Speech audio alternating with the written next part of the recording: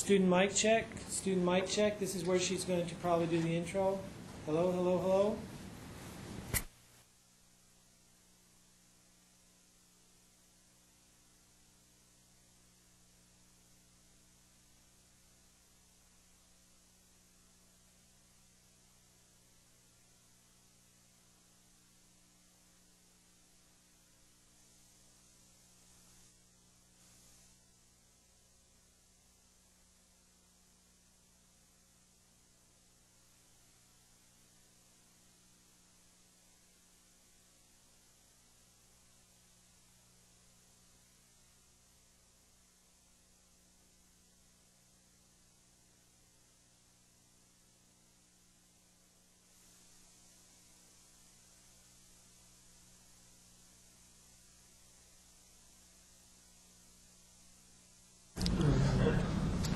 Okay. Uh, test one, two, three, four, five, six, seven, eight, nine, ten. Yes. I could talk to here about that. We should, we just, need a fader on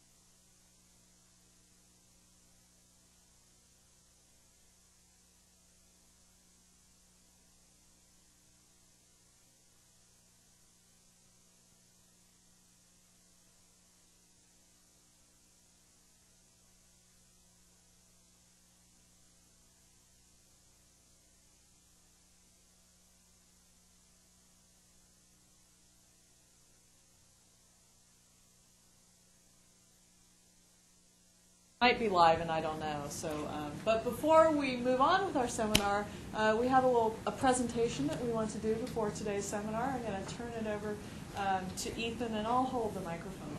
Thank you. Thank- th- Thanks, Jennifer. Uh, I'm here today uh, wearing the cloak of authority as uh, director of the uh, School of Urban Studies and Planning, the Toulan School of Urban Studies and Planning. Uh, It's a really uh, wonderful thing and an honor to be able to present to Sumi Malik um, a certificate suitable for framing to express our congratulations to her for being named the outstanding transportation student uh, this year here at Portland State University.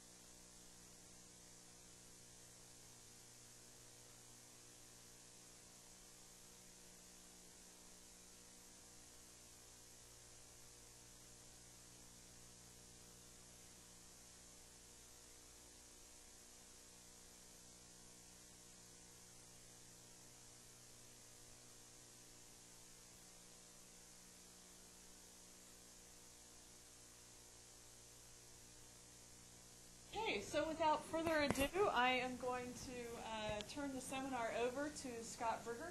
Yeah, Scott Bricker, Policy Director at the Bicycle Transportation Alliance, uh, talking about uh, a project that they've uh, recently completed. Uh, turn it over. Scott, oh, I should also mention uh, that he is an alum of our program, the Masters of Urban and Regional Planning Program, and so we're quite uh, happy to see him doing the great work he's doing now. Thank you. Uh, that is right. My name is Scott Bricker, and uh, sometimes also have a hard time saying my own name, and especially the Bicycle Transportation Alliance where I work. So it's like two things. Um, I, it's great to be back. I am a MURP graduated in '98, and uh, first of all, I want to say that I'm required to stand right here. Normally, especially since there's no one in the first two rows, I would be attacking you all with hands-on presentations and East Coast style. Um, you know, anyway, I will. I'll try and you know from back here express my uh, enthusiasm and desire over the topics of bicycling and urban planning, uh, and and also I'm also not supposed to point to the screen, so I'll try and I'll try and not do that. Well, because of the internet people. Hi, internet people. By the way, uh, if you uh, joining us on the internet, there's also I want you to know that the BTA. I'm going to be passing out later a copy of our blueprint for better bicycling, and you can go to the BTA's website. So you might want to do that now. Go to bta4bikes.org, uh, and that's number four. And on the on the front of our website, there'll be a download that you can uh, follow our presentation.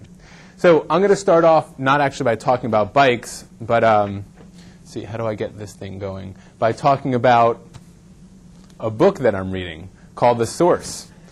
So you want that on the screen? Yeah. All right. And then later, when I want it back to the, uh, I go there. Okay, thank you. By James Michener. Now, a fellow Jew, I think.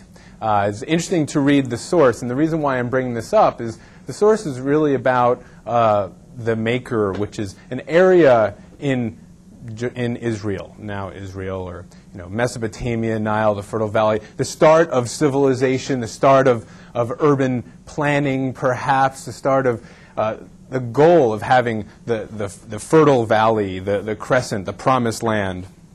We'll go back to the computer, I think. And in the promised land, not only are there things like bicycles, but there's good customer service and small cars. Uh, things that you know I will try and tie back what we're talking about today, uh, perhaps to those. I think that uh,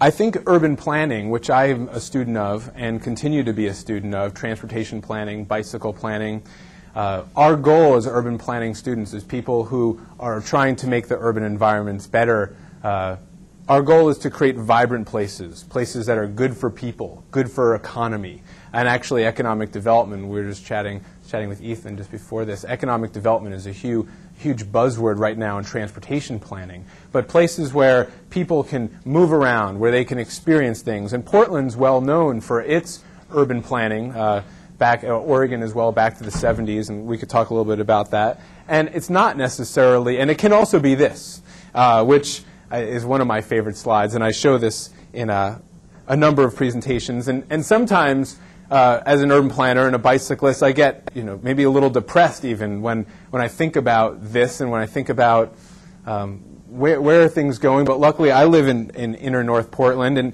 and once in a while, actually, probably every day as I get on my bike, but once in a while, have moments of encouragement. And in fact, had one this morning as I was riding uh, Bree, who's my girlfriend's uh, nine, almost 10 year old, which is really important to almost 10, is nine and 11 month year old daughter to school this morning. And it was just a really fun process where we, uh, let me do a little flip of my page here,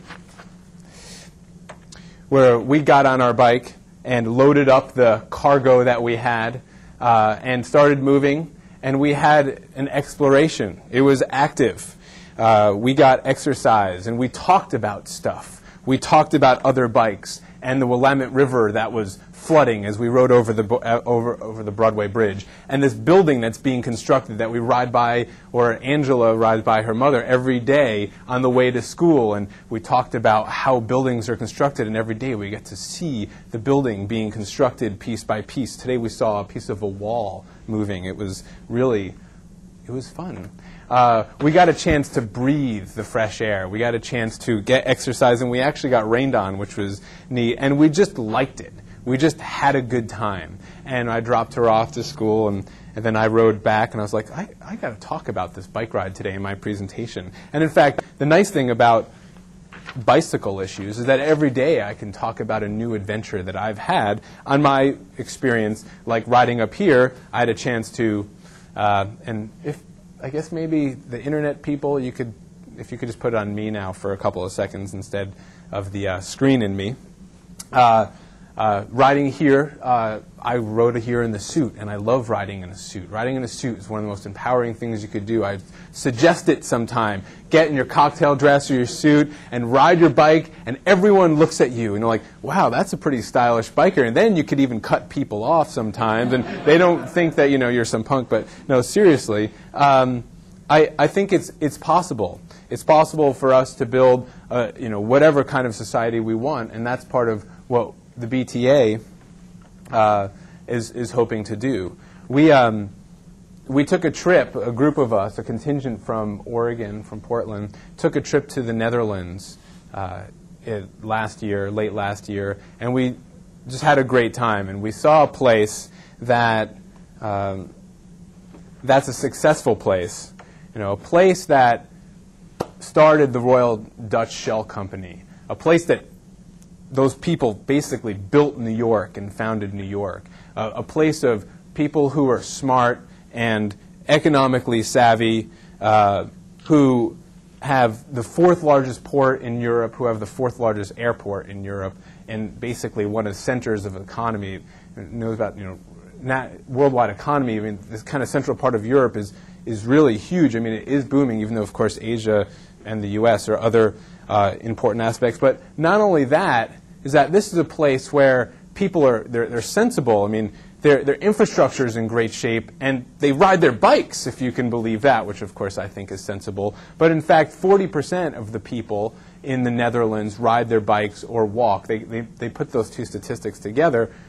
Uh, that's 40% of the trips are bicycling and walking trips. 50% are car trips, and then there's about 10% which are transit trips.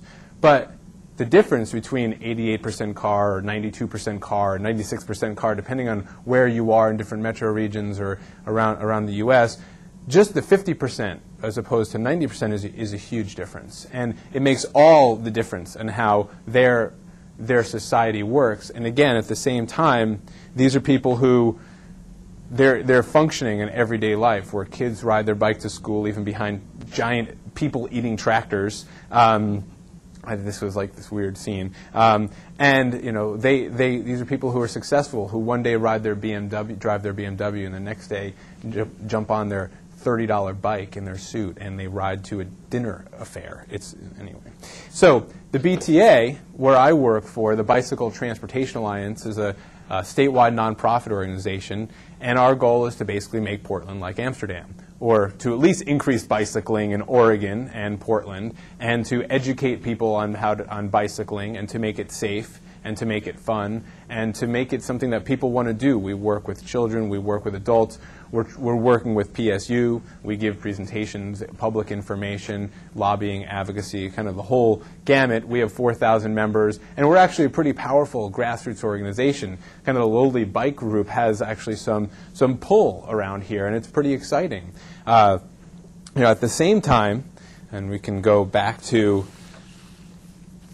the screen here. At the same time, you know, we have today's front page newspaper story, and we'll put this at the document camera.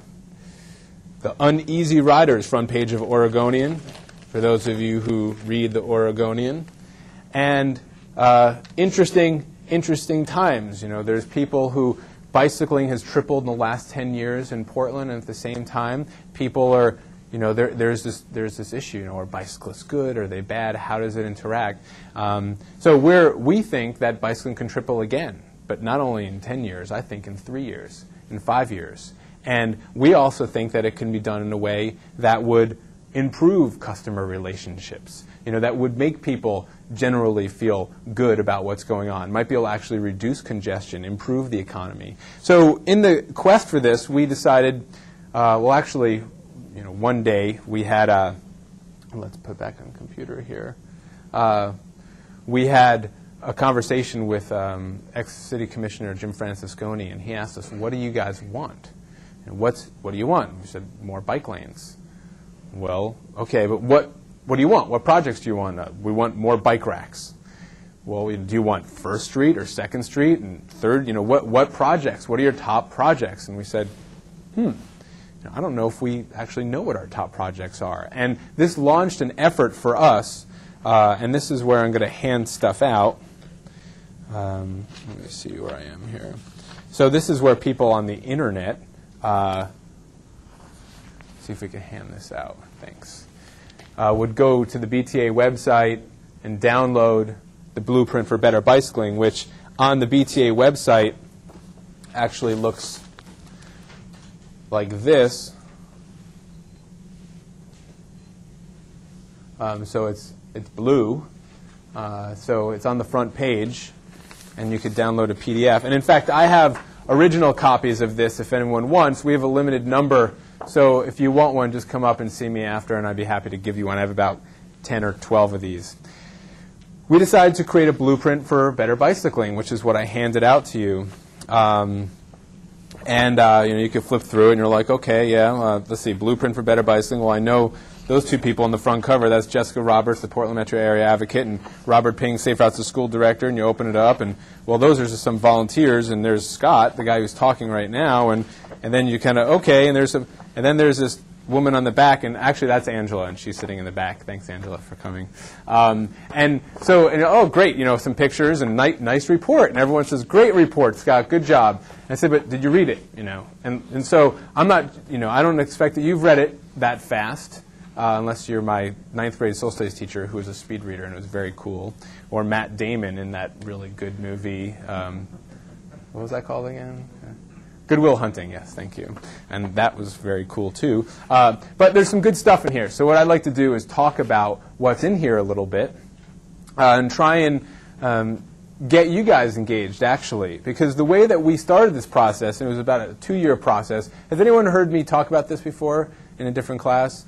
Okay, maybe I could like I don't like some of this is the same, so maybe you know, we can send you on an errand or something. No, just if you have it, if you have any, if I did something better last time than this time, just let me know, and and I'll. I'll I'm, I'm trying to be funny, but I'm being silly. So we uh, spent two years on this project, and we realized two years is a long time, but we also figured that to understand, to create a blueprint for better bicycling, we didn't want to just create a document that said, well, here's the way we've been doing business, and so let's put out a report that says, here's the projects that we most need.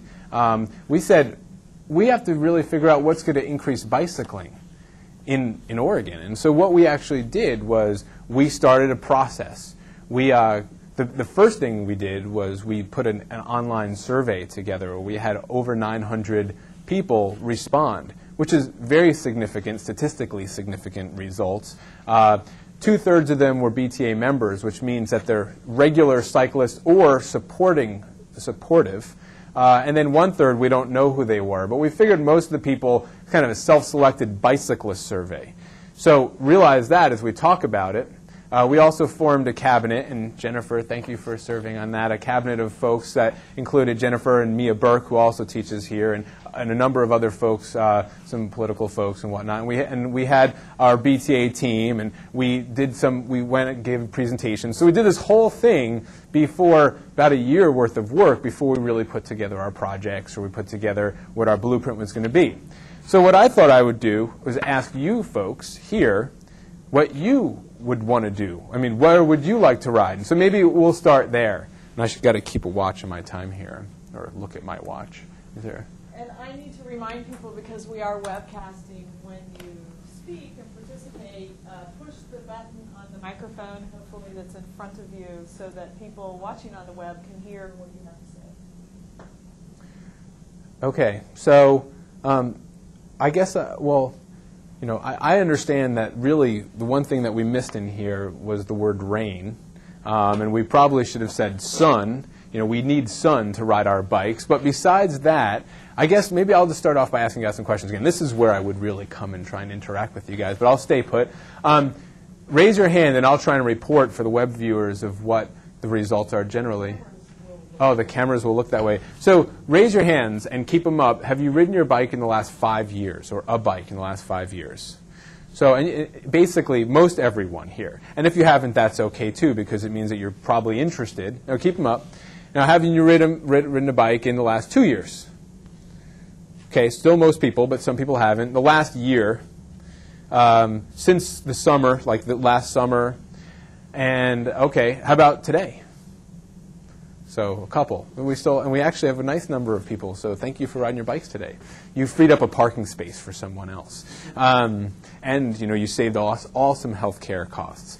So most people here at least have ridden their bikes in the last five years. I've ridden bikes in the last five years, so I have some experience. And if you haven't, maybe you've ridden your bike. Um, you know, you, you remember what it was like. Uh, so the next question is, where do you ride your bike, or where do you like to ride your bike? How about where's your favorite place to ride? So you can give me the exact location, or you can give me the type of place. But let me. No, this is where we'll go to the audience. Let's see some hands, and then just, you know, if you have your hand up, just go for it. So come on, yeah.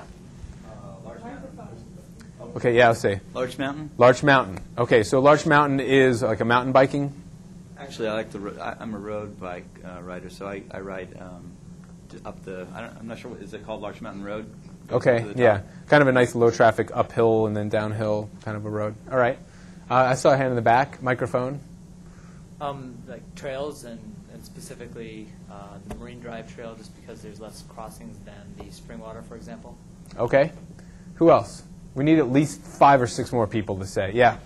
Um, well, I'm a commuter bike rider, and I don't actually get out in nature very much to ride my bike. But so I think my favorite place to ride my bike is uh, late at night when there's like a lot, very little traffic on the roads, and it's, it's very peaceful. Yeah, we had an experience like that last night, and it was really nice. You get to ride in the middle, and great. Um, yeah, so I hand in the back. Um, I did the Leif Erikson Trail in Forest Park. So that's kind of a, a gravel road, right? Not not hardcore mountain biking, but nice recreational. Yeah. Oh, it's steep. Okay, I haven't done that in a while. Actually, I should probably do that. Who else? I see an, a head nod. How about you? Got any place for us?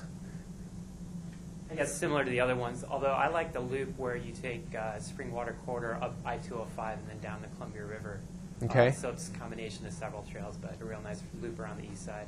All right, thanks. Who else? I mean, maybe people who ride their bike on a daily basis. Anyone else? Yeah. Um, I like my the north and northeast neighborhoods. Okay. Do you have any roads you specifically like, or is it Probably Shaver. Shaver's pretty nice. okay? So you live up there and you ride down. All right. Can you actually? Do you, do you ever commute to PSU, or you're you're a student, right? You see that? Yeah, I, do, I, I usually just bike around my neighborhood and take the bus down. Okay. Um, I, we'll get back to that. Yeah. I Um, saw a raccoon last night on Shaver riding my bike home.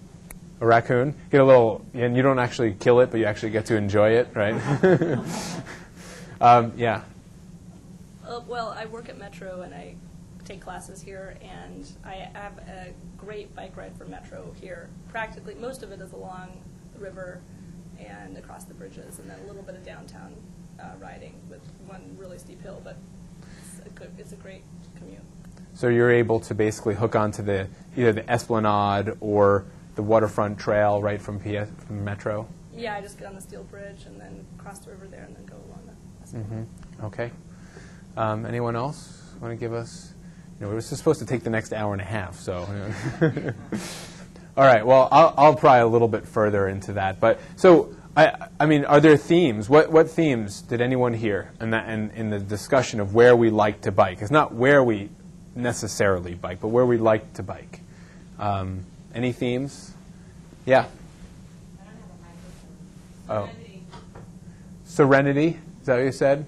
Okay, so serenity, meaning, uh, give us a couple more adjectives there. Quiet, nice, peaceful, Okay. nature-based. Yeah, thanks. Uh, reduced potential conflict with cars. Okay. So that was a theme, is not, you know, having a place where you're not necessarily around cars, but you're either on a trail or at night. Or minimize the number of times that you have to cross the street or the odds of a car passing you by. Like, Yeah. Okay. Uh, I saw another hand go up. Did, okay, do you have anything else to say? okay. Uh, so yeah, so we had some themes there, and uh, and this was, of course, maybe not a statistically significant sample, unless you want to say of this class, but of of the metro area, probably not. Uh, but we heard some themes. Um, now, I wanted to ask you, and I don't remember your name, even though you said it only once, and I've never met you. But what were the reasons why you decided to not commute downtown? And you can give us a variety, but what you know, as opposed to just riding around Northeast Portland. Um, I think probably cars and having to deal with traffic. So Okay. I'm fairly, I'm kind of a new cyclist, so. So, what's the difference between downtown and Northeast Portland, or, or the, pro- the approaches to downtown? It might just be that I know my neighborhood better than I know downtown. Okay. So, part of it might be a cognitive thing. It's actually what your head feels comfortable with and what you know. And I can give a whole other spiel on cognitive issues, but I'll try not to. But, and part of it might be a reality, which is you know downtown. You know there's more traffic downtown or in the process on Broadway to reach the Broadway Bridge, and you don't feel comfortable with going there. Do you think that there's a possibility in your life that whether it was shepherded by someone or whatnot, that you could do it? Uh, yeah, I, I tend to, I'll bike down here if I have people to come down here with. Okay. So otherwise, I tend to ride the bus. That's pretty reasonable. Uh, I, I saw a hand back there, and then I'll come over back.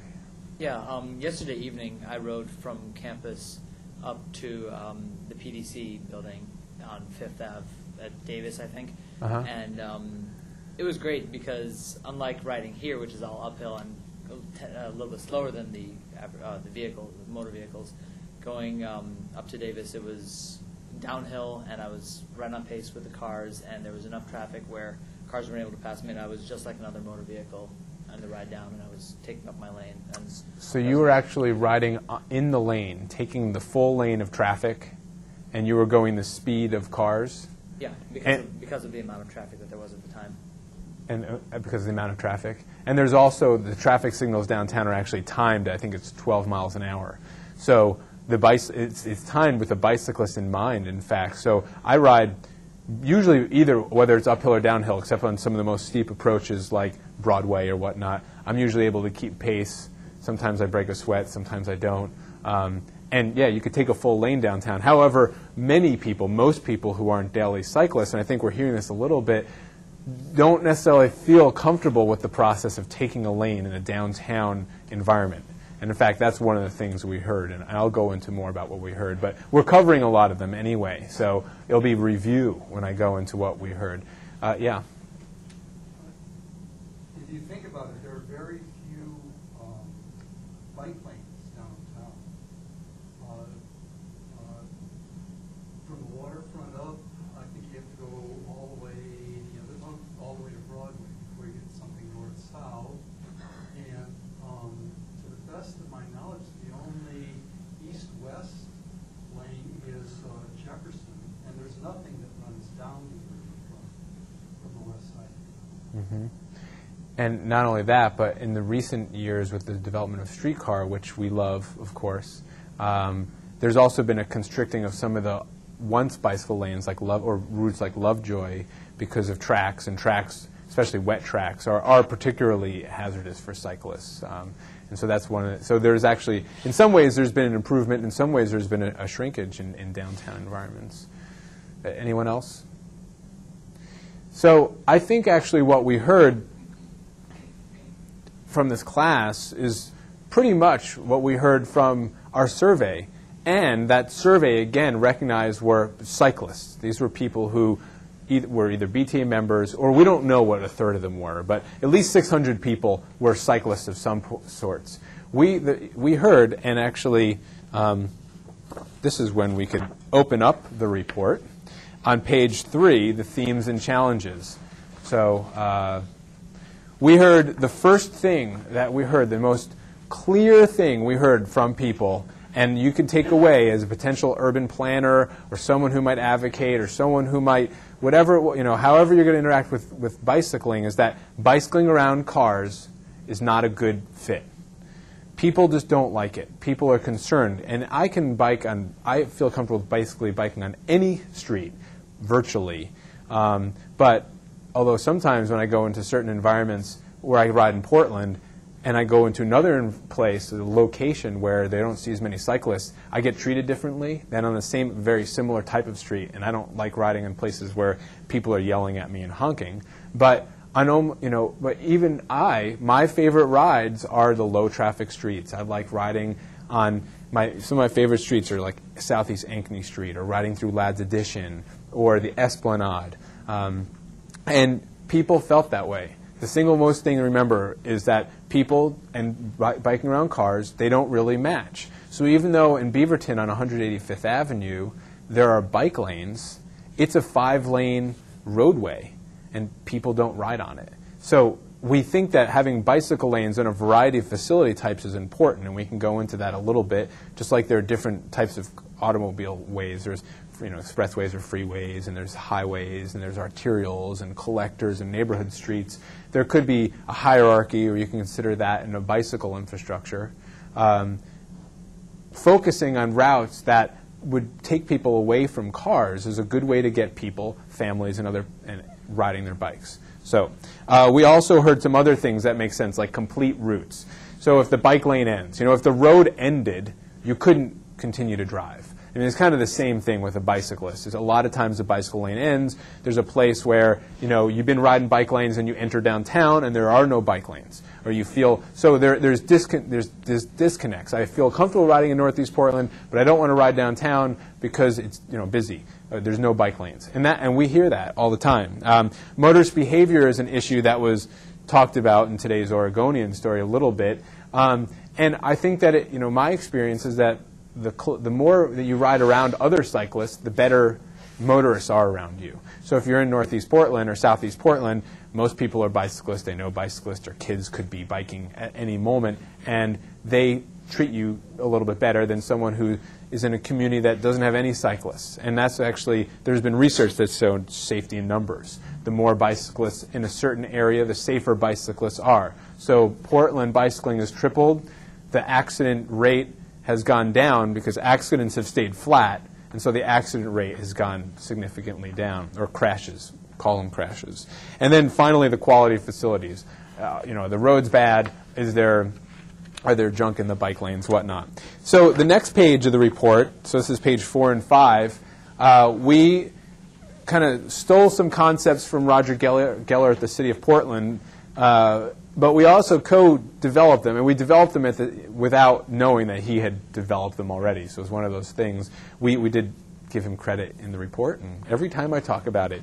But this pie chart and this graph are really two things that we feel like has changed our advocacy from putting bike lanes on Broadway to saying, boy, you know, there's 1% or less than 1%. Oh, yeah. Thank you. Um, there's 1% or less than 1% of, uh, of bicyclists who will ride under any conditions. And I might be one of those. But if you take 100 people or 200 people, maybe only one is going to ride on the, the busy street in Beaverton or wherever, and the other 199 aren't. So we have to look at what are those other 199? What will they want to bike? What can we get them to do? We know in Holland everyone bikes, or Netherlands. You know, why are they so much different culturally? Sure, but um, there's another group that we consider the B cyclists, or 7% of the, of the population, people who bicycle but have some concerns. So they bicycle in Northeast Portland, they don't bicycle downtown. Sorry, I keep on going back to that example, but it's, a, it's exactly what we see you know, in, in bicycling. Uh, they bicycle in certain places and they have concerns in certain places. They, they, you know, they want to bike with their families, but they only feel comfortable riding on, on, a, on a trail. They don't want to ride in a busy street. And that makes a lot of sense. And then there's this other group, the C cyclists, which is the majority of the population, which they don't really cycle.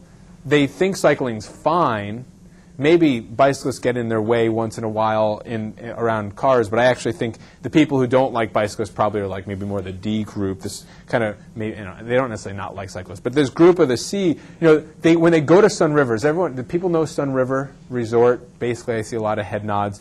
You go to Sunriver with your family, and you drive there with the cars on the bike rack and you don't get in your car again because there's a whole network of bike trails that connect to the town and the pool and the horseback riding. And maybe if you're going golfing you know you drive to the golf course.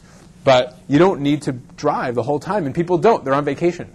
You know they don't want to have to get in the car and load the family up and, and whatnot. And you know and you see in places people go to Oregon State parks on the coast and you always see these pop-up RVs whatnot and they have bikes on the back and these are people who are not biking, probably, any other day of the week. So they, they enjoy biking. It's a possibility. They probably walked or biked to kids uh, to school when they were a kid. In fact, statistics say 66% of kids in 1970 biked and walked to school, and 10% do today.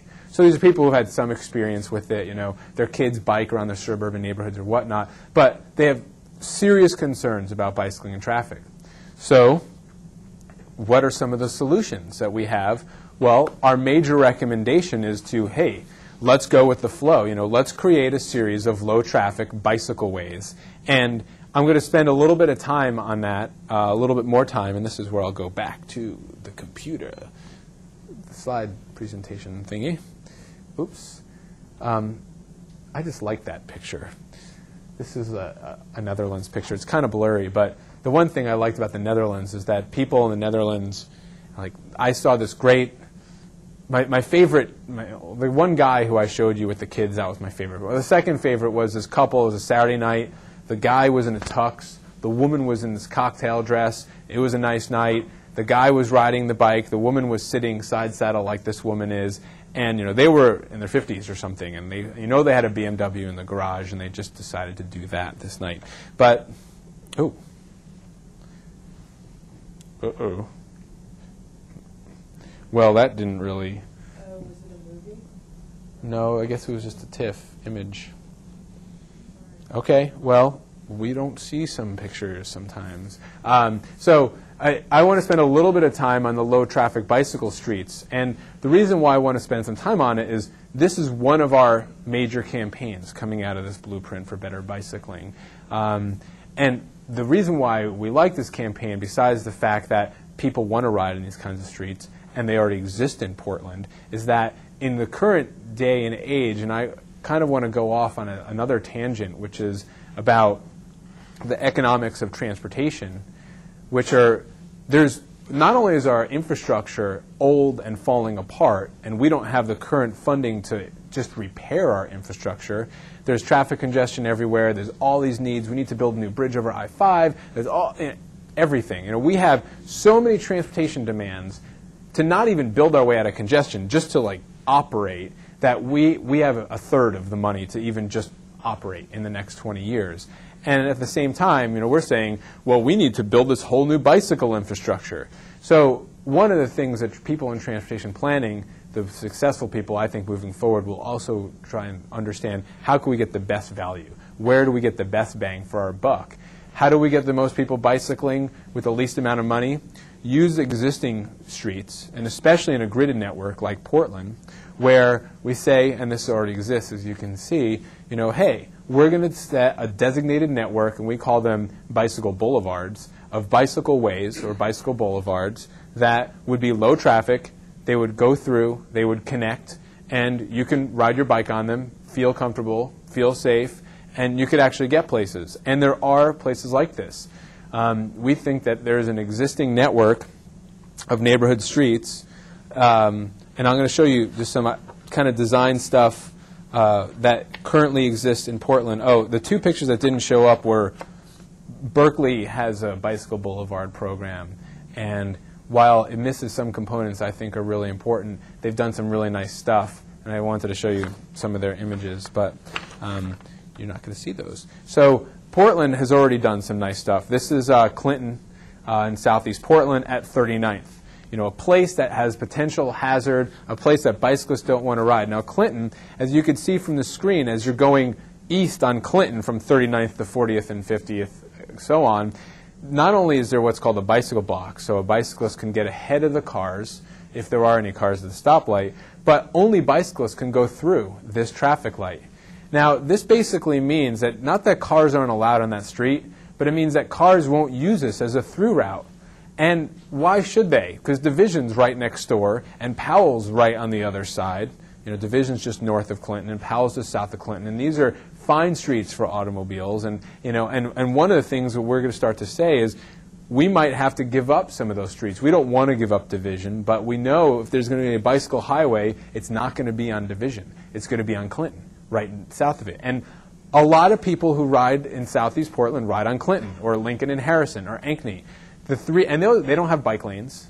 They're, I mean, bike lanes are important in downtown places and whatnot, but in this environment, if there are no cars, who cares about bike lanes? You know, it's like it, it's about the cars, it's not about the bike lanes. And so in this environment, a bicyclist goes through, cars can't, and there's very few cars on this street because they don't have through access. And then on the other side, this car coming, this green Audi who's traveling west, can't go straight either on Clinton. So it has to turn north or south on 39th. And so therefore, Clinton Street is a great bicycling street in some ways because of this one intersection. I mean, it's besides that, it's a neighborhood collector, like any other neighborhood collector. But this one intersection prevents through traffic from using it as a true neighborhood collector. So people who are driving to the Clinton business district on 26th and Clinton can't drive down Clinton. They have to take Division and you know and turn or whatnot. And then Clinton uh, then connects nicely into Ladd's Addition and some other nice places. Um, this is the other one. This is through Ladd's Addition, Lincoln and Harrison, looking east out of, uh, uh, I guess this is, I don't know which one comes first. I think this is Link Harrison. And this is 20, 20th Avenue or 21st Avenue. Similar thing. Um, there's basically a median, and you can see just to the right of the median, or I guess it's, yeah, the right, there's a little gap. That's another gap that only bicyclists can go through. Um, actually, this is, I'm sorry, this is looking west. Um, but the point is, is that, that that one piece of pavement prevents cars from going through, and this is one of the most popular bicycle routes in the city. I mean, hands down. There's go, you know, this is how people from the Hawthorne district, south of Hawthorne, get to downtown or get to where they're going no real bicycle facilities. They have those little white dots on them now that the city put in, and, and, some signs. If they're not up yet, they will be. But it's this one one piece of infrastructure, and then at 39th, there's another one that makes this a bicycle street. And the fact is, is that the people who live on that street, and you can't see it, I'll move back, but the people who live in Ladd's Addition, I mean, I don't live in Ladd's Addition, but they must love this. I mean, one of the reasons why people move to the suburbs anyway, I mean, they're better schools perhaps, but because they didn't want, you know, they wanted a place where kids can play in the street and it kind of feels like a neighborhood. You, your kids can play in the street because there are no cars in the street. Um, so this is something that we think has public appeal and is low cost. Uh, another one that the city of Portland did um, in Northeast Portland, actually, on failing, and I think this is 13th, around this school, uh, you can see that bicyclists can enter, and there's a one-way environment. So there are some things. Let's just see what we have here. Now this is this is kind of the next piece. So um, there are some basic things that we're promoting. The concept of a bicycle boulevard, which we can say we can take a very small amount of money, maybe fifty thousand dollars, and make a bicycle highway in the city of Portland. And we can do this. We think we should do one every year. And we think in five years we should have five or ten new bicycle highways all through Portland on low traffic streets, Commercial Street, Shaver, Skidmore, Mason, Failing. You know, there's a whole slew of them. And then there's some obstacles. You have to cross major streets, and that's where some of the costs can increase. But you could use existing traffic lights and tie into those kinds of things. So our blueprint is founded in this concept. And uh, we are rolling out a Bicycle Boulevards campaign, and we are hoping to build at least one every year. Uh, yeah, question in the back. Make sure you're here. Are you distinguishing bicycle highway from bicycle boulevard? No, I, I use them interchangeably. Sorry. I just think that it's like the trail that goes from OMSI to Sellwood along the Willamette River is effectively a bicycle highway. I mean, on the summer Saturday, that thing is congested. It needs to be twice as wide as it is. So I was, I was just referring, I mean, I was just a reference. Thanks for clarifying. Um, but I, I do think that, uh, you know, trails is, of course, another way to do the same thing. However, to build a trail costs a lot of money. So while we support regional trails in a big way, and in fact, we're interested in getting regional trails as part of a, an hopefully upcoming bond measure that Metro is looking at doing, a $220 million bond measure. There are six designated greenways, and we advocate through the federal transportation planning process for trails and whatnot. We think they're great, and in fact, it's one of the things, especially in the suburbs, that will get pe- give people access to good bicycling. Within the city of Portland, within gridded districts, we already have the infrastructure. We just need to do some small fixes. So. Um, the, uh, the other, looking at the blueprint, back to the blueprint. Um, let's see, how's my time? We have to 1.30 is the supposed time, or is it 1.15? 1.30. So I'll try and wrap this up soon so we can have a discussion or, or leave early. Um, the, uh, uh, as we go through, we have four major solutions. One are increased uh, the user base, and we're talking about under number two, low traffic streets, as I just went on and on and on about. Um, and you know, bicycle lanes, of course, is a tool for major roadways, especially when you're expanding roads. It's easy to put those in. And roads now, by design, would have shoulders anyway. So a bicycle lane could be basically a striped shoulder. Even though bicyclists have different rights in a bicycle lane, it's, it's a place that in an emergency, automobiles do pull over in the bicycle lane, and you know, in an emergency, I don't think too many bicyclists are too worried. You know, uh, kind of a thing. We also put out some solutions for the suburbs. Uh, so I'm going to flick off this page pretty soon, so internet viewers know that. Uh, we have four ideas that we came up with that were not necessarily endorsed by the advocates in the suburbs, which is the people who ride the bikes and, and their bikes in the suburbs most often are people who are the type A cyclists. I mean, the people who have been riding their bikes for the last 20 years, and it's great, and we love you guys. And but we, we're moving on. We're trying to build a network for the type B and type C cyclists, for the families, for people who want low traffic streets. And we have four ideas. Um, one is using shared use paths, which is already very popular. Um, and, and like, for example, on the west side, the Power Line Trail, uh, the West Side Power Line Trail, all the basically Washington County and all the Washington County cities are very excited about that, and they're looking for money all over the place for that. So there's a lot of excitement. There's other, you know, I think Forest Grove wants to do a ring bicycle trail, and people are talking about bicycling in the wine country. There's a lot of support for this kind of thing as an economic development tool.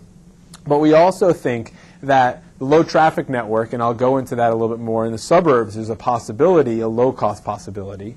Safe routes to school, which is the concept of increasing bicycling walking to school, starting in a place where kids still go to neighborhood schools in the, in the suburbs a lot of the times. And it is possible for kids to bike and walk to school in a targeted fashion with support. And then potentially campuses and centers. So urban campuses, you know, play, you know anyway, that, that's a little bit more, I think, of a stretch in some ways, but important.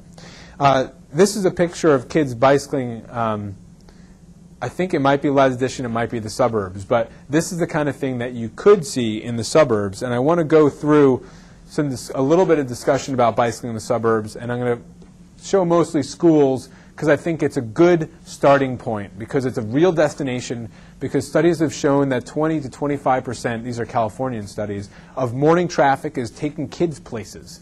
When I rode Bree to school this morning, there were two bikes in the bike rack hers and someone else's. It, was a rainy morning. Well, we actually got sun, luckily, but there are often five or six bikes.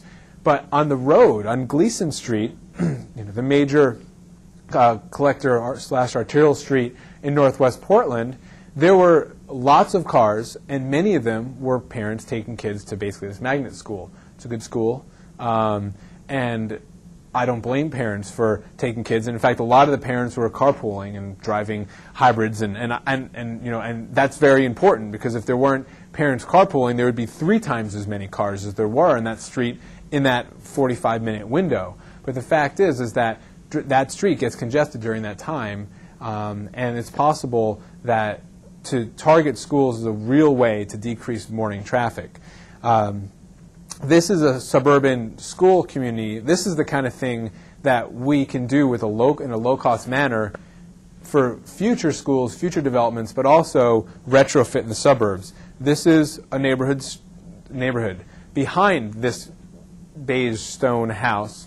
You can't see it, but there are two schools, a high school and elementary school.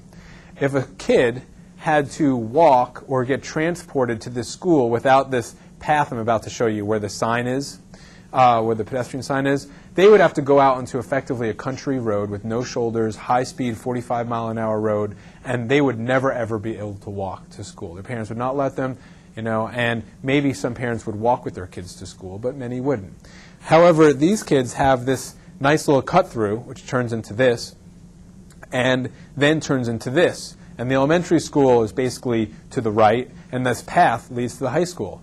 Now, any kid can do that. And, you know, there is some concern, is there stranger danger whatnot? And this is a safe neighborhood in the suburban community, and this is very possible. But what's important, and a lot of schools are are not doing this is that the school will be willing to open up their school grounds from five, seven, ten different points so that kids can enter and they don't have to walk all the way around. And I'll show you another example. This is a school in Hillsboro. These are both Hillsboro schools. You can see a fairly new development behind this school. There, a lot of schools would have a fence around the entire school, and you would not be able to walk or bike to that school. This school has this opening that kids know about, and then you have these kids walking to school. It's pretty simple, you know, take out six sheets of chain link fence, and then you have all these kids who can walk to school. And what, if you're a parent, you know, and you see the school from your house, and there's a baseball field in between you and the school, it's like, get your butt on the baseball field and walk to school. I mean, maybe they're doing it and maybe they're not, but there's a lot of potential there. And we think that in the suburban communities, there's a lot of potential to create those low cost solutions and that's really what we're looking for we don't know we don't really think that right now we can just go out and change the, the nature of beaverton but we can do things like this to provide access to starting at the schools and then going to bike paths and maybe even hopefully town centers one day which who knows if that will happen um, i have one other anecdotal story before i try and wrap up my presentation about the suburbs um, which you know, I, I, do have to say I don't spend lots of time in. So I know that this is something we haven't gotten very far, and we would like to engage suburban advocates in this process. We went out and talked to a number of bike shop owners, and there was one guy who just moved his shop to north of Highway 26, uh, um, pretty far, you know, like around 185th. I forget the names of the road that went right past the shop. It was a new shopping mall, the center uh, with a, you know, whatever, a big box store and a lot of other small stores. And we talked to him, got into a conversation. We asked him if he rode his bike, and he said, "Yeah, I rode my bike." And this is a bike shop owner, so hopefully he does. And, and we asked him about his route, and he's told us about his route. And he kind of let out of the bag. I didn't even think about asking him how that it took him six months, the first six months when he bought his store and moved his store location, six months to figure out the route that he now uses of trying every day. And we said, well, you know, there's a bike map, you know, can't you just use that? He says, well, yeah, I can, but the bike map puts me on the major street, and even though there's a bike lane some places and there's not in other places, I don't want to ride that like the rest of us here today as we talked. And so it took him six months to piece together designated bikeways that are on bike maps and neighborhood streets and neighborhood routes and a, a whole amalgamation of street of road types to figure out the most pleasant way for him to get to, to his job. Most people don't have that commitment, dedication, willingness to to spend six months figuring out their bike route to work. I mean, it would take a bike shop owner to really do that. And there's a lot of potential to identify that route. Like if we identified his route and put big bike stencils on, and that was one of the things in the Berkeley slide I wanted to show you, is that with these routes, it's not only good enough to just have them, but we need to have them be very clear. This is a bike street. You will see bikes there. We like street stencils. We like markings on the ground. In addition to signs, um, bicyclists look on the ground a lot more than they're looking for the street sign. There's a lot of research about street clutter and whatnot. We think that if his route was marked as a route, that a lot more people might choose one day to get on their bike and try it. Um, but currently, those folks, most of the folks, and it's a cognitive thing, as we talked about, people cognitively, they don't know how long it's going to take. They think it's going to be a lot harder than it might be, and they don't know the safe routes. And if there were a network of them and they were clearly identified using existing networks, we think we can actually, in five years, in 10 years, build an entirely new system of bicycle ways. And so it's an ambitious plan, but what the hey, especially if you're taking two years to put together your report. So you're thumbing through the rest of the report, and I'll just show this um, really quick. We have a map um, that shows the first 28 projects, I think, out of 40. We have a list of 40 projects that we think are the top 40. Uh, the Sellwood Bridge came in as the actual number one project of, I think, 90 something people of the 900 said Sellwood Bridge was the biggest problem. It connects to so many communities, it connects to trails along the river. People want to be able to go over the Sellwood Bridge. Um, we have a top 10 list. You can see, this little icon, the 10 icon. Uh, otherwise, they're not numbered in a preference order. They're numbered in just sort of a geographic order. We sort of start, we start in the center, and we uh, go around like this. So, you know, one, we did start with the Sellwood Bridge because we thought it was pretty central and it was the top project. We have um, the Central City Bicycle Plan. There needs to be a Central City Bicycle Plan update, and we heard that already from folks here. People don't like riding downtown, and people don't like getting here. They need to have access from the west um, and access from other places, and that's an important thing for us. We want to update the Bu- Portland's Bicycle Master Plan, but we also want to work with the suburbs and doing some of the things I was talking about uh, on the low cost solutions. And then we have a list of other of projects that we think are important, including enforcement, uh, which we think is very important. Some of the safe routes to school stuff I had mentioned, and we even in number 40 have an Oregon Bicycling and Walking uh, Institute or Center, which we hope one day will be housed here at PSU, and we'll have the best research in the world on bicycle advocacy and try all sorts of new funky stuff out and have these discussions every day over lunch. So um, that's uh, that's the report, and I wanted to thank. You know, we have a list. I want to thank everyone who participated, including Jennifer and our cabinet, and anyone who took the survey, and anyone who worked on it. Uh, so we have a half hour, and we can talk about stuff. I could definitely talk for a half hour more, but you know, I'd rather open it up for a conversation. And uh, thanks for showing up, especially if it wasn't required for you to do. So So. remember to use the microphone pushing where it says touch, so people can hear your question. Yeah. I wanted to ask about your, um, your annual operating budget. and what it's looked like over the last few years, if it's growing, and, um, and where did most of those funds come from? Do they all come from donations, or? Yeah, sure. Uh, I, I'll give you a little bit more info just about the BTA generally. Uh, we were founded in 1991 in the way a lot of things are in a, in a, a living room. Uh, and the first project we worked on was getting bike racks and TriMet buses, which they now all have. Um, so even though the bad publicity TriMet's unfortunately got recently, they've been really good partner for us. We hope to work with them. Uh, we now have over 4,000 members. We were originally a Portland group. We're now a statewide group. We're uh, we're funded the 4,000 members. We have well, our operating budget.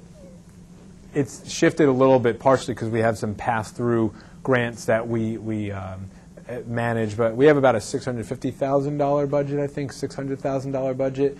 We have nine full-time staff, and we have I think a core of about 15 uh, seasonal instructors who teach bicycling, bicycle safety, kids programs. So our members make up a good chunk of our of our about $150,000 as membership and uh, ma- some major donors who are members.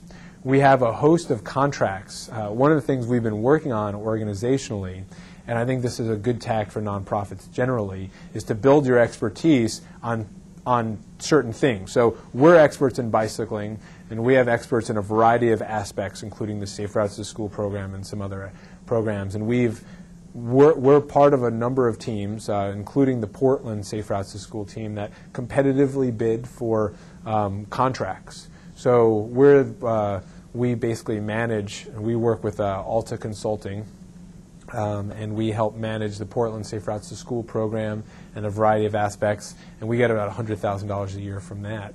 Uh, we have we have contracts to provide technical service around the state for Safe Routes to School, and we're also looking to we're hoping to be part of a, a, national team to work on a national clearinghouse. So we've developed some expertise in areas that we actually have contracts. Uh, we work with some other events like the, the Providence Bridge Pedal uh, and oh, I think a couple other like the uh, what is it the uh, the beer guys who uh, the bicycle guys. Um, why am I? Oh, um, who is that? Why am I forgetting their names? You know the the bicycle men. I, they make, uh, well, anyway, I'll think of it in a second. They, they make, oh, Fat Tire Ale, you know, those guys, uh, the Belgian Brewing, they, they put on an event every year. So when we work with, with those kinds of folks, they, they contribute money back to us when we help them. Uh, we have an annual fundraising gala event, which actually is in early March. You're all invited. Uh, there's $65 a ticket. But uh, we have at that uh, event, which is an awesome event, uh, it's being held at the Oregon Convention Center this year because last year we were sold out. I think 450 people. We have an auction, and so we have a variety of funding sources. But one of the growing funding sources for us have been contracts, and I hope that we'll get additional contracts. And we're talking about trying to work uh, with other teams. We have a really good pulse on what bicyclists want, and I think it's more so than probably anyone else in the sense that we have a huge membership base. They'll they come, they'll answer questions for us uh, because they're really, they want to see better bicycling facilities. And so we're hoping to get involved in other types of urban planning projects uh, to help represent the voice of bicyclists. So, little background. Yeah. Um, I was having a discussion with several other women a couple nights ago um, about commuting, and a lot of them stopped commuting with the time change but it's more a perception of uh, like neighborhood safety, sort of Mhm. depending on where they work and where they have to go from. And um, I know that's a really big issue, obviously, but I was wondering if um, that came up at, at all in terms of uh, problems that people saw, you know, reasons they didn't bike was m- not car safety, but like personal safety in terms of uh, where they're biking and that kind of thing. Yeah, that that came up in our survey, uh, and we heard that I think probably more from women than from men, um, and we heard that in some specific places. So like the Esplanade Trail or the OMSI to I mentioned this one already, but the OMSI to Sellwood Trail, where it's basically there are very I think there's one access point from OMSI to Sellwood, And it's like a three mile trail, and some people don't feel safe riding that at night because there could be someone there. Uh, we we are sort of part of the Jane Jacobs fan club that basically talks about says eyes on the street. You know, if you can bike in a place where there are other people on the street, other bicyclists, uh, I think that improves the the perception of safety and probably the real safety as well. Because I think it's a, a, perception issue in the sense of it's how you feel. Um, it's not necessarily that someone has actually been attacked because that's a whole different thing. But it's just like, okay, it's dark. I don't feel safe anymore. So um, we didn't uh, put it in as one of our, say, our top four issues of how to improve bicycling. But I do think that if we had more people bicycling on you know, bicycle boulevards, designated bicycle ways, that people would generally feel safe on those types of environments. So I don't know if that's helpful. Um, you know, other than that, we also do think that more enforcement and more presence of community um, police is would really help bicycling. Bicyclists on, I mean, police officers on bicycles. That doesn't really improve the safety for bicyclists, but it does improve the safety of you moving through your neighborhood and feeling that you're going to have. So, so we also think those kinds of things. Anyone else? Yeah. What was the date that this report came out on? And could you speak to some of the successes uh, among the 40 projects? Yeah, thanks. I didn't go into the uh, our really our campaigns much, except for this low traffic campaign that we're really just rolling out. Uh, the project was released in September of 05, so it was still pretty fresh. And we're on sort of the tail end of our presentation schedule in our presentations. We'll be giving, I think, a couple more, uh, one at Metro and one at the City of Portland, uh, City Hall. Um, right now, we have two really clear campaigns that came out of this work. I mean, some of the stuff we're already working on, like enforcement and Safe Routes to Schools, which I mentioned a number of times, and some of the trail advocacy we've already been working on, and those are existing campaigns. But this year, we're planning on rolling out two campaigns. One is to fix the Rose Quarter. Uh, so there's a big gap at the Rose Quarter, basically by the Rose Garden Arena, where you can't, there's really no good way to access the Esplanade, which is a huge entrance point to the bicycle system. Um, and the other is the Bicycle Boulevard campaign. Uh, the Rose Quarter is in process, and in fact, we've had a number of meetings with TriMet. They're really interested, and the city of Port, and so we're now kind of they have a, a good a design which is draft, um, and it looks good. Uh, we're at some point going to publicly put it out there, you know, ask people to comment, get people engaged in that process, and we hope that by spring we, we, could find the funding and build it. So I'm hoping that by this spring or summer, we will have uh, legal access through the Rose Quarter. So that we think would be a great um, benefit for bicyclists. And then the other one, the, the, the Bicycle Boulevard campaign, we're still sort of rolling that out, but we're choosing bicycle boulevards in North and Northeast Portland specifically. So we think that there's a whole host of bicyclists in North and Northeast Portland who like to ride and the facilities are okay, but they could be better. They just could be clear. They could be, and we're going to turn the stop signs, and we want to do like the whole thing. So um, we hope that in the next two years we'll have a couple of those, and we're working really closely with the city of Portland and a variety of different processes that they have to uh, to, to look at that. The city is actually partially because we've been beating the drum, and partially because they've gone into a pretty serious uh, research process with PSU, actually. Uh, Chris, I think, has worked on this, uh, looking at the data about what people feel safe and where the crashes are. And I'm not exactly sure, Chris, what part of the, the research you were worked on, but you could tell us if you want, actually.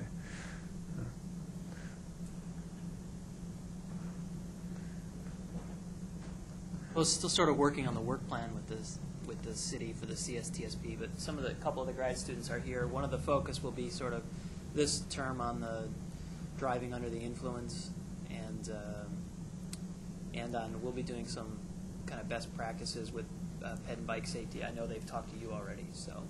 Great. Yeah, it's exciting. The city of Portland is really engaged, and they've engaged PSU, as you've just heard. Um, and one of the things that they've heard is kind of a they, they, have a similar belief right now that as us is low traffic streets, and so they have at least one bicycle boulevard in southeast Portland that they're looking at doing. I think it would be around the Powell area, going out to I don't know, maybe as far as 90th or out in the 90s or further perhaps. So we're supporting that, but we're really looking at trying to do a couple things in north and northeast Portland as well. So that's where we're at. Um, you know, and we're hoping to make them public uh, as it goes for advocacy. The actual development of a campaign is a we've found is a successful tool. So one thing, the Rose Quarter, or another thing, Bike Boulevard in North Portland, and you know, and, and actually get people to support that campaign. Thanks. Any last questions? Right. They don't move. Um, I was wondering, uh, you mentioned Am- Amsterdam as a kind of an inspiration, and I know that uh, vehicle speeds helps uh, promote bicycle commuting in Amsterdam. I'm wondering if you know anything about uh, commuting distance. Are they are they commuting about the same distance as we are in Portland, or can you speak to that? Yeah, I'll try. I, you know, I have a whole Amsterdam thing that I didn't roll out here. But first of all, vehicle speed is a huge issue, and they've addressed it really vigorously. They have um, 20, what is it, 30K zones. So they have basically you know, higher speed routes, and then most of theirs are 30K zones. I think that's right, about 18 miles an hour. So where we have neighborhood speeds of 25, they, their neighborhood speed is 18, and they really design. I mean, they, they go for it. In fact, we heard from one police officer in the Netherlands said, "We don't really enforce uh, against people who are speeding on streets that aren't designed for higher traffic speeds." So if you have a 30k street or 18 mile an hour street, and one of them is like has a chicane in it and a speed bump and all this other stuff, and another one is just a straight shot, that they're going to choose the chicane, traffic calm street to do their enforcement because they kind of realize, I think, that how people behave is, is a lot of what the street looks like. Um, so they've taken on traffic speed. In fact, there are some folks in, in the Netherlands who want the traffic speed in neighborhoods to be 10 miles an hour. You know, of course, when you have 18 miles an hour, they say, oh, speed's still the problem. It needs to be 10. It needs to be 5. Um, getting to the other part of your question, or the real part of your question, uh, which was distance, uh, the, the picture I showed you of the bike racks uh, in Netherlands that I could quickly I could quickly just go to it. Um, that was this is by a train station in Amsterdam. And this is a three or four story parking garage. It's free. There are thousands of bicyclists, bicycles there. And people every day ride to the train station from all over, park, and then take high speed trains or interurban trains. They have a huge, you know, of course, it's Europe with a big train system. And they take trains to nearby cities. And they actually commute decent distances, many of them commute and there's no room, there's no place to park your car. I mean, there's really, you don't drive to the train station, you bike to the train station, you take a train, and actually some people have bikes on the other end too, and they just leave them there overnight. Um, and everyone drives junkers, rides junkers, as you can see. So it's like if your if your fifty dollar bike gets stolen, you don't really fret over it.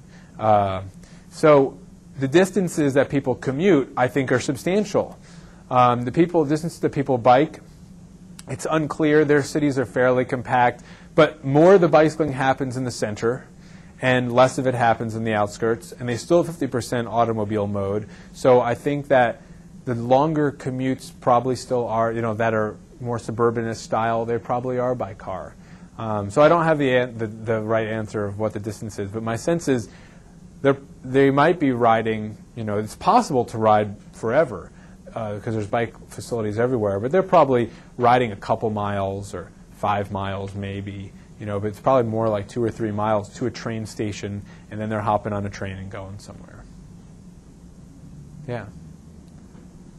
Yeah, I saw his hand come up uh, earlier.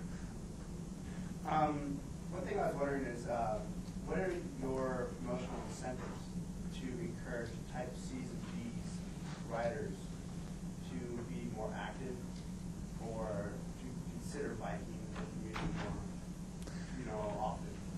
Yeah, that's um, that's a really great question. And besides, I'm going to look here.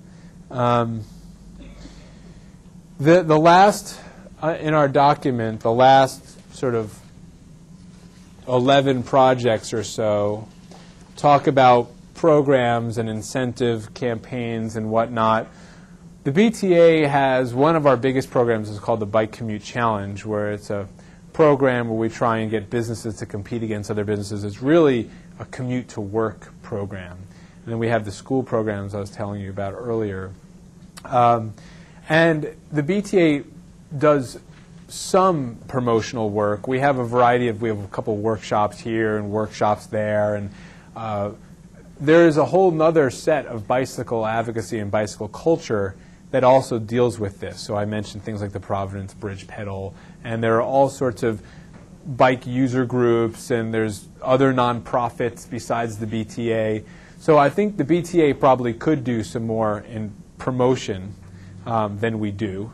Uh, the BTA also recognizes that there's a lot of bicycle culture stuff, especially in Portland. Um, so we let a lot of that go to the other groups. We let the other groups handle, you know, I don't know, the week, you know, a lot of, the, there's just, in the summer, there's just so many bicycle rides that someone could go on. The city of Portland has a whole program. There's just, there's so many different things that we have limited our work on that. However, we really feel like there needs that ultimately there need to be some other incentive programs out there to get people to seriously consider bicycling, especially to work. So, for example, right now the federal government allows business owners and businesses to write off the cost of parking and transit passes, but not for incentives for bicyclists or walkers. So an employer could give you know free transit pass and get a tax write-off, and up to $100, and a free parking space up to I think $175. But there's no similar thing for bicyclists. Um, you know, we think so. We we think that there's possible to have some institutional incentives that could be offered, and in fact, in in workplaces that do support bicycling with incentives, there are more people do choose them. So there are a very few number of places that give cash incentives or other incentives for bicyclists. And a lot of people, I mean, if you had the opportunity to say, well, you know, you either get free parking, a free bus pass, or 75 bucks, you know, people would say, huh, maybe I'll choose the 75 bucks. So that's, you know, that's a possibility. I, um, so that's, I mean, that's kind of where we're at. We do have, we do, we support a, a variety of, of small things, and there are other groups that do stuff. I think ultimately institutional work would be the most, the biggest bang for the buck. Um, there's some other hands. Yeah. Yeah, I was looking at this pie chart for the user groups, and I was thinking that um, you might have left out people who were uh, economically constrained, so they were basically riding bikes because they had to. Is this something that the BTA just doesn't take on because it's not within their the range of, of, uh, of, of projects, or is it something that some other group takes on so you guys don't address it? Yeah, um, there are some. I'll, I'll try and address a couple aspects of that question. Um, this specific chart, we were considering more about um, the kind of the comfort and desire of people. So it's not just the desire. It's not just whether you want to bike uh, per se, but it's kind of how you feel about bicycling. Now, I do think that it's possible that you have some people who are low income or who have DUIs and don't have driver's licenses anymore, whatever the situation is, um, who might be class group C cyclists. They don't really feel that comfortable biking, but they're kind of thrown into it anyway because they don't really have other options. And I think that there is some of that. There could be some of that. Um, we don't have any specific programs for low income people. Uh, although we do offer free workshops, commuting workshops, legal workshops, uh, and a couple, you know, we have brochures and some other information. And there are other groups. So we have a, a monthly, a bi-monthly legal clinic, and I think it's a bi-monthly uh, commuting workshop. In the winter, it's a winter commuting workshop. In the summer, it's just a regular commuting workshop. Uh, the Community Cycling Center, which is another nonprofit, actually has a grant through the the Jobs Access Reverse Commute Program, which is a federal transportation program that every state gets some money for, and they use that money to provide low-income people with bikes and with training. And there's some, I think you have to go through like a five-hour eh, fixing a mechanical program so you understand the bike generally, you know, teaching you how to fish kind of a thing. And then you get a bike, and then I think you might have to also do some on-bike educational work before the program is complete. So uh, they do a nice job with that. That's a good program for them, and they get some federal funding for that.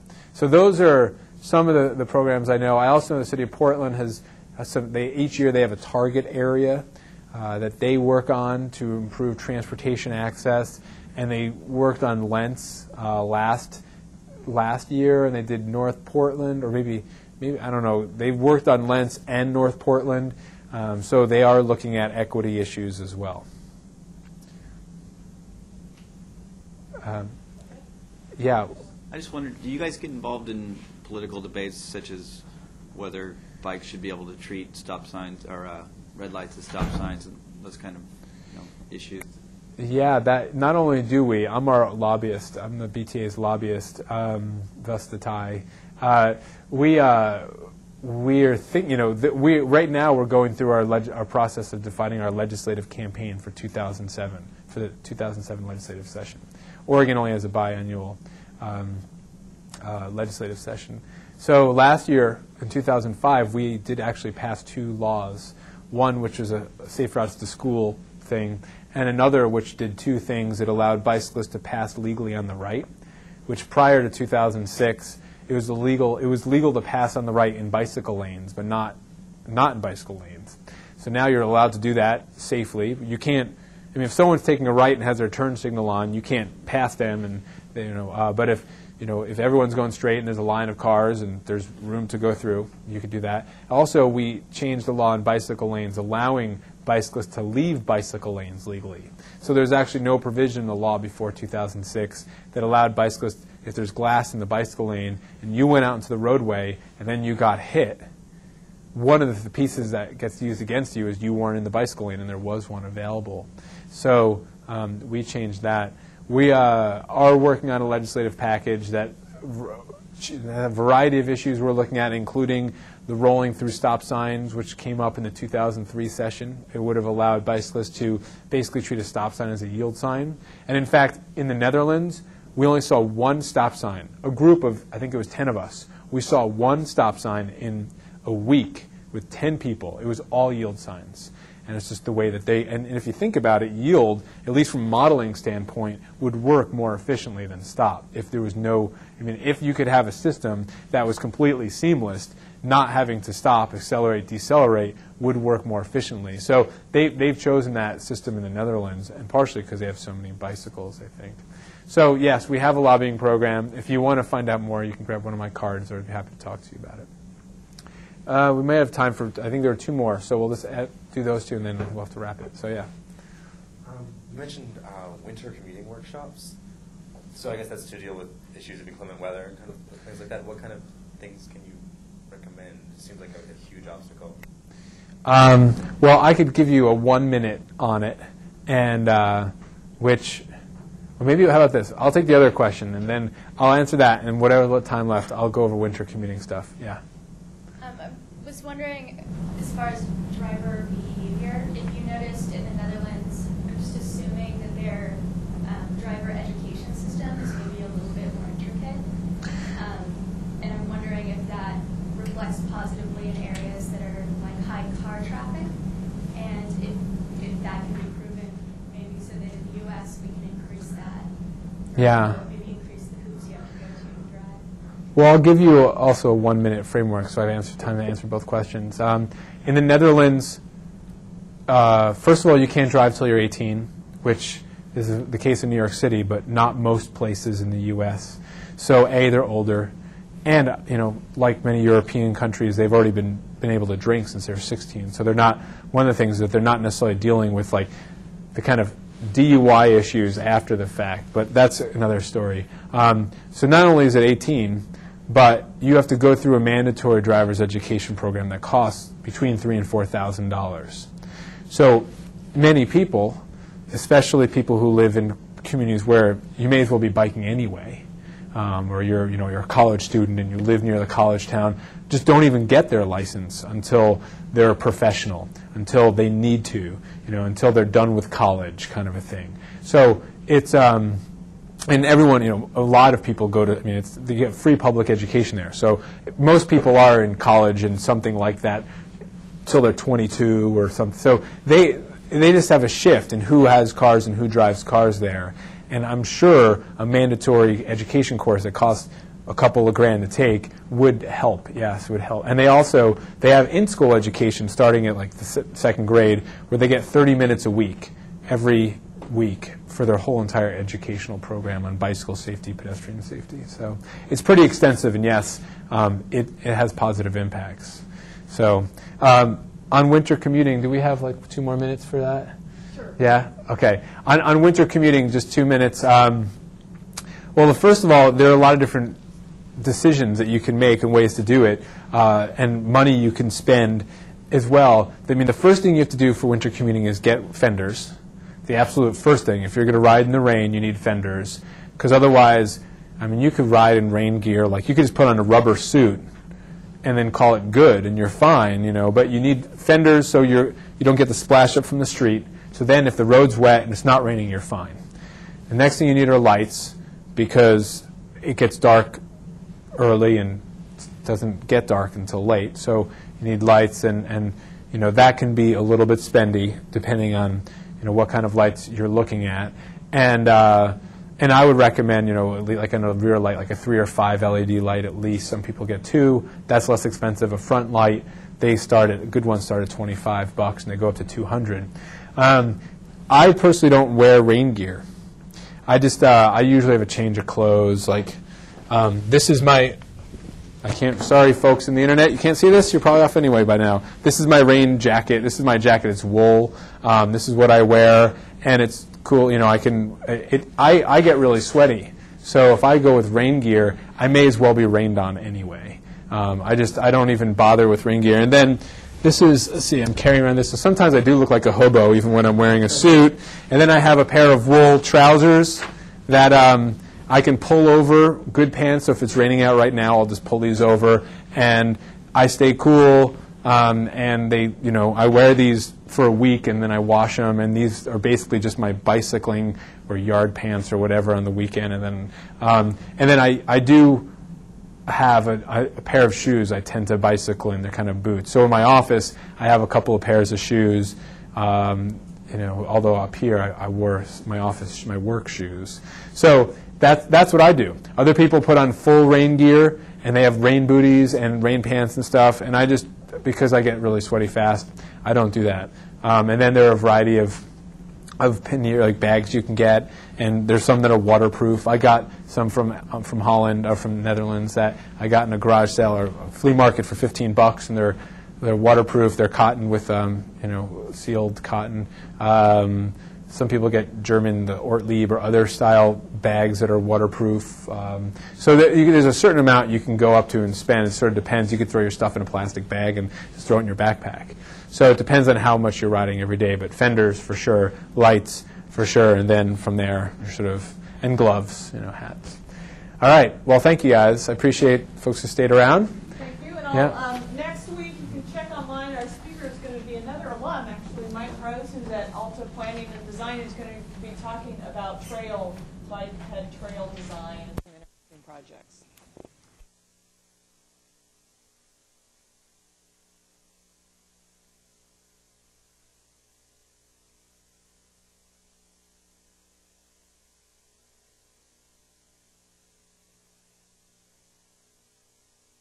On, but anyway.